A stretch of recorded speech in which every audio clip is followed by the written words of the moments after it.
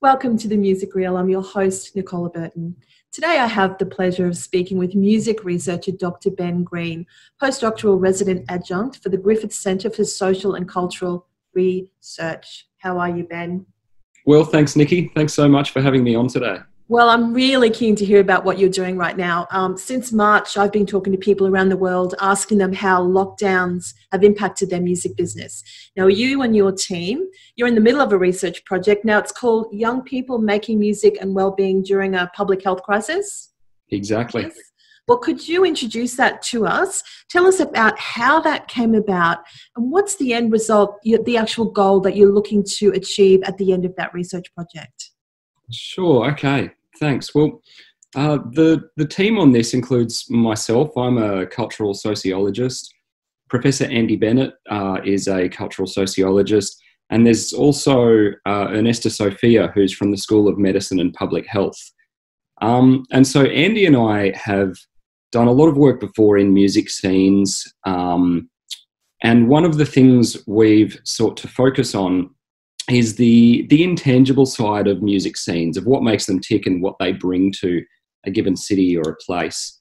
Um, so, for example, there's been a lot of great work in recent years about the contribution that uh, music, live music, and the music industry more generally makes to the economy of given cities or, or nationally.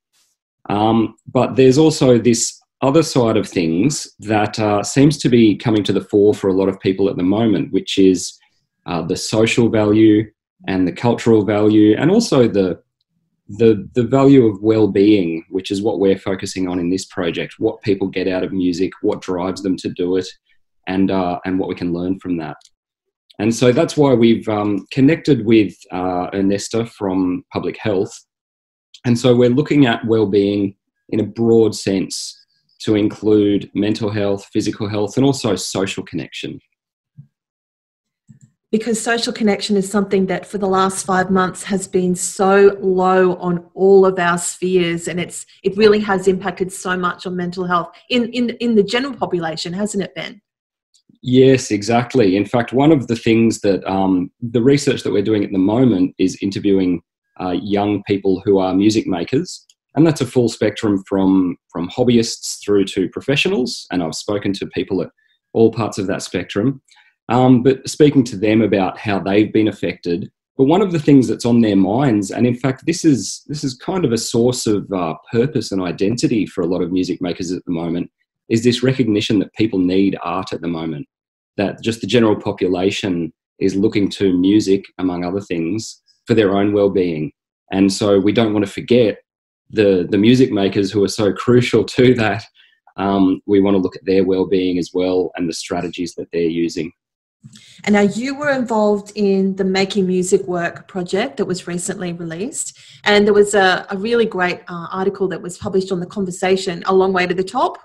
Um, can you tell us a little bit about that? Because there was some vital statistics in that article as well in that project that I think will help people to better understand what musicians are facing right now.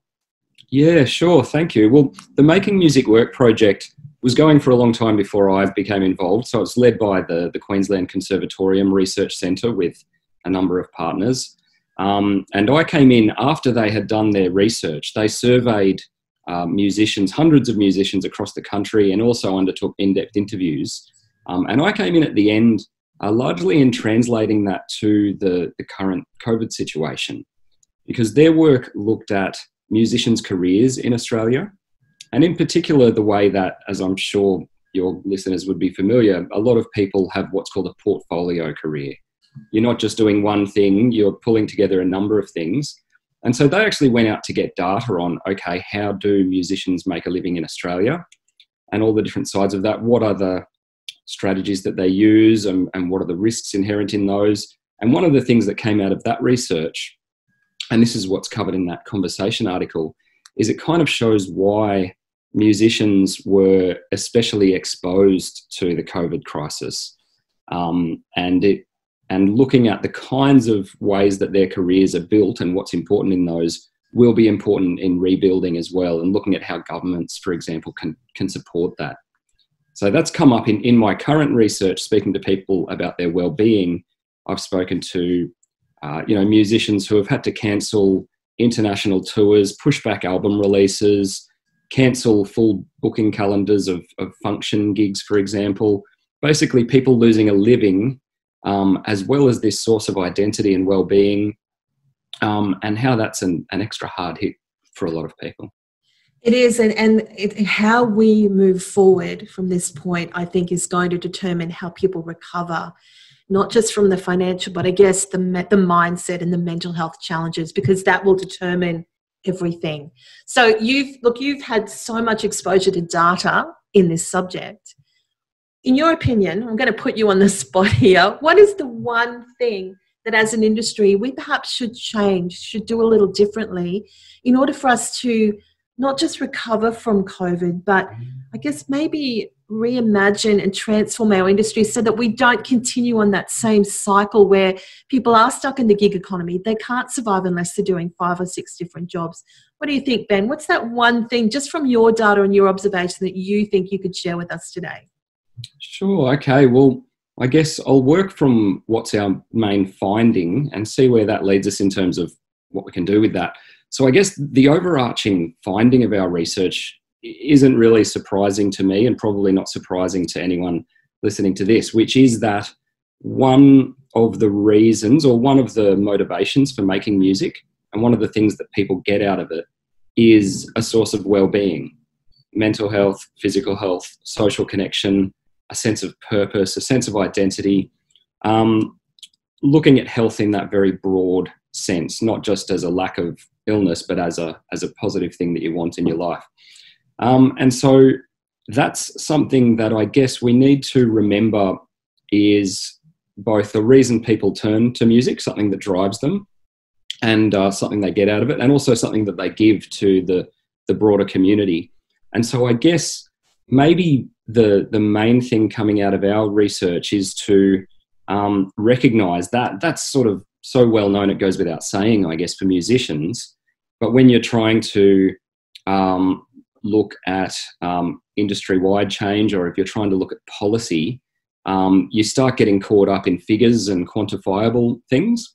And so I guess it's important not to forget um, that one of the reasons people go through this um, one of the reasons people invest so much uh, time and money and everything else into being a musician um, is what it gives them in terms of well-being and also their sense of service in giving well-being to others.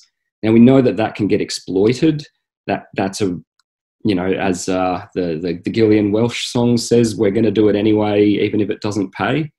And so some people some other people might might figure out ways to profit from that. We need to be wary of that. But I guess one way to be on our toes about that is is to have a good, solid understanding of um, that particular motivation for music making, and to and to support that. So so I guess in terms of practical, concrete things, one thing I've been uh, really enjoying finding out in my research is the strategies that musicians have come up with uh, for their own well-being.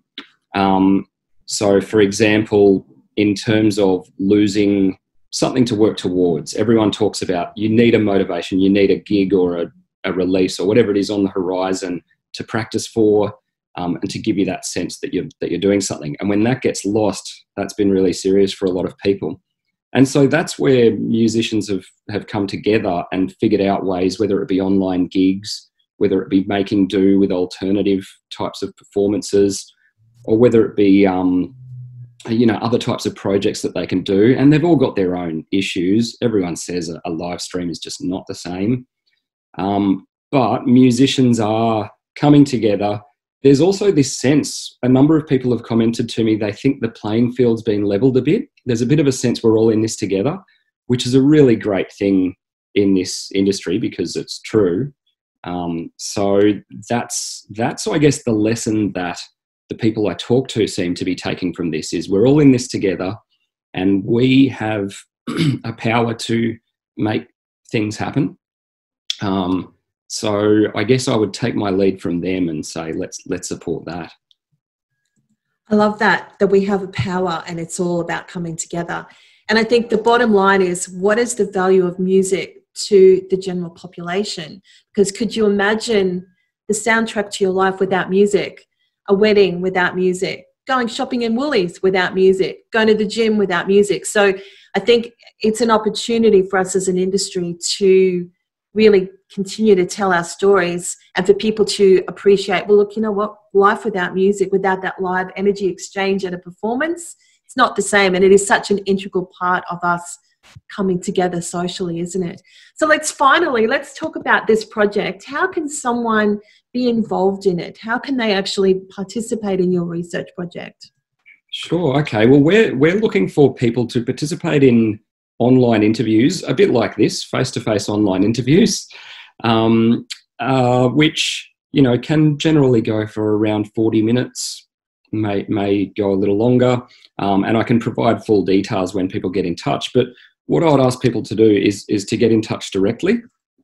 Um, so if I can give my email address is b.green, G-R-E-N, at griffith, G-R-I-F-F-I-T-H dot edu dot au. Yep. And I'll put all of that in the post as well, so they'll have all your details. Oh, fantastic! Thank you. Yeah, well, if, if people can just get in touch, and there's there's a, there's flyers that we're circulating, which you you um, may be able to see as well, um, and then I'll be able to provide full details of the project. It's all done under the sort of ethical um, approvals from the university, as we have to do for all of our research. But the sort of people who we want to speak to we are focusing on young people. Uh, we're partly youth researchers. We know that that doesn't by any means cover all musicians. I'm I'm outside the, the age range and I'm a musician myself, so I, know that. Um, but we are particularly looking at um, how young people are engaging in music making and what are the, the challenges and the opportunities they're facing in the certain situation, and with this focus on well-being. Um, so that includes people who are semi professional or professional musicians, like I've talked about. It also includes people who are young people who just happen to be musicians. Um, I've had some really interesting conversations with hobbyists or people who have, um, you know, young adults who have picked up the instrument they learnt as a child, and that's turned out to be a great coping mechanism during COVID. So that whole spectrum, um, we're really interested to hear from. And I guess one of the ways you know, you know, as a researcher, oh, this is an interesting topic, or yes, there is something here, is that people are coming out and they do seem to have a story to tell. Um, and that's the feeling that I'm getting. So we're definitely keen to gather more and more of these stories um, and to, to speak to as many people as possible. So if anyone can get in touch uh, with that email address, it's, it's people from 18 to 35 years of age who are music makers in any sense of the word, um, from hobby through to professional, um, in any style, in any genre, what have you. Um, and we want to speak to people about um, how music making may have been a source of well-being for them during the COVID crisis, and what challenges there have been in that regard. Perfect. So anyone who's watching this, make sure you get to the end of the video, check out the post on the website, You'll have all the details there.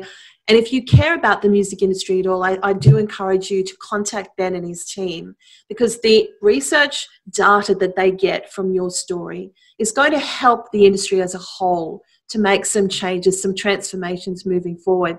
Dr. Ben Green, what a great chat that I've had with you today. Thank you so much. Thanks so much, Nikki. It's been a real pleasure. Well, I'm looking forward to when this is done. Perhaps we can have a chat and we can then talk about the findings because I think it's a fascinating and wonderful project. I really want to know what the stories are on the other side of this. So take care and thank you so much today, Ben. Thanks so much.